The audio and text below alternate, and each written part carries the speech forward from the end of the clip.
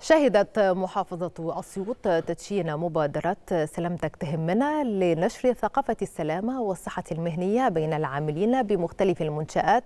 وذلك في إطار مبادرة بداية جديدة لبناء الإنسان. وقد أوضح محافظ أسيوط هشام أبو النصر أن الهدف من تدشين مبادرة سلامتك تهمنا هو إطلاع المشاركين على مفهوم السلامة والصحة المهنية وأهدافها والتشريعات الوطنية المتعلقة بها وتمكينهم من تحليل وتقييم مخاطر العمل وإدارة الأزمات والكوارث وخطط الطوارئ والتحقق من الحوادث واكتشافها حتى يمكن تلافيها ورفع مستوى الأداء بالتدريب على أسلوب عمل متطور.